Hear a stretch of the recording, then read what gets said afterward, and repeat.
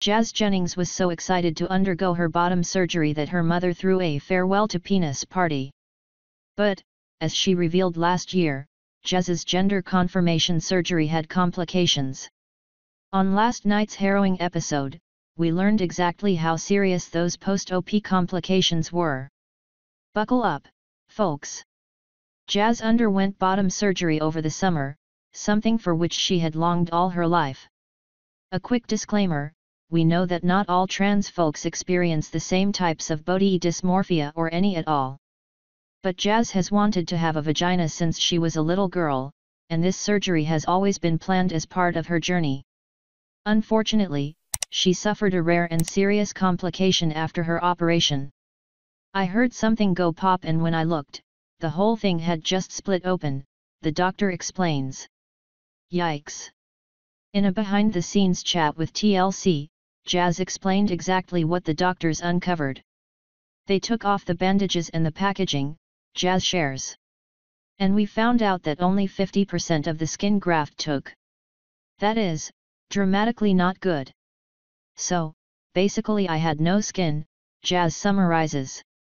Most of us prefer to have skin on our genitals, and Jazz is no exception. Jazz is okay now.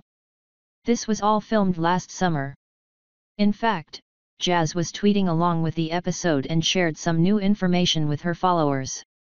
Fun fact, the camera crew left NYC thinking that I was on a steady path to recovery, Jazz wrote on Tuesday night.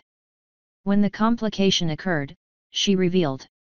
The two producers who stayed behind documented the second procedure. They did so using my camera and their phones. Despite the horror of having her fondest dream turn into a three-week nightmare, Jazz is glad that it happened.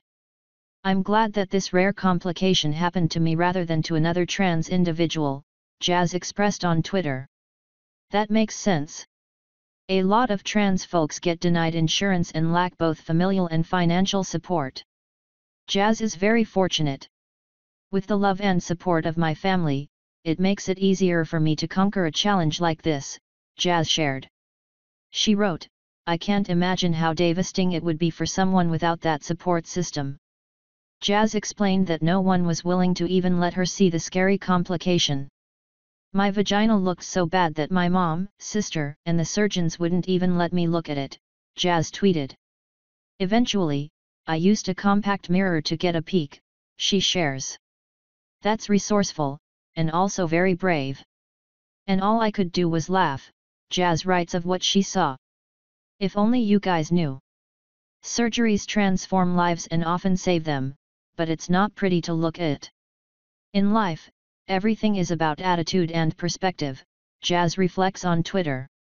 Even though my vagina falling apart was the hardest thing I ever experienced, she writes. I knew that one day I would be fully healed and recovered.